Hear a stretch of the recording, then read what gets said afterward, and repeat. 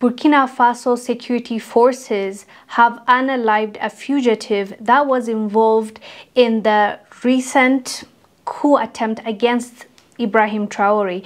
As you know, it failed. It was actually thwarted. So Ibrahim Traore was able to escape their attempt.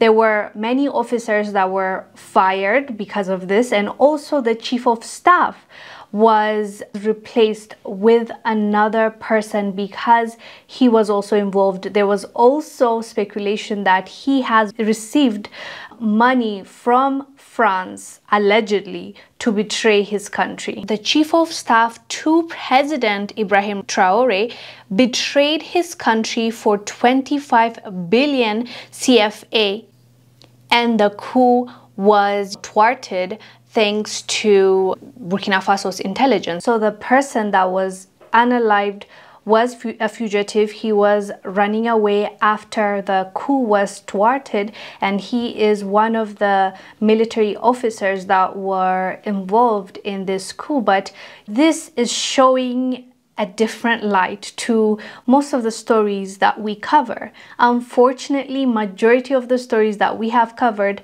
usually they get away with unaliving or betraying or basically selling out their own people. But in this Burkina Faso case, thus far, this is a second coup attempt that was thwarted. So clearly they're doing something different and Burkina Faso should definitely help out, reach out to Mali, Niger, and all those countries right now that are working towards getting out of the neo-colonization system, getting out of the relationship, the parasitic relationship African countries have with the former colonial masters. So it seems like something is working with Burkina Faso because how do you succeed in thwarting a coup not once but twice and end up also capturing most of the people that were involved in deceiving their people and betraying their people, something they're doing is working. Something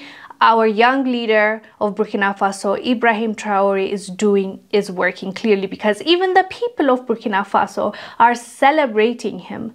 There has been another coup attempt in Burkina Faso, and this time around, the people of Burkina Faso went out to the streets, specifically at the UN roundabout, to voice their opinion and to protect their leader Ibrahim Traore at all cost.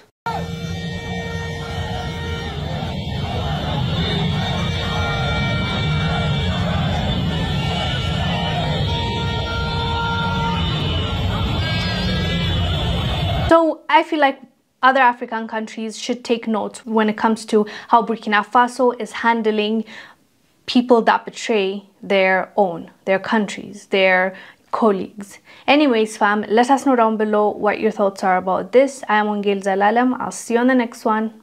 Bye.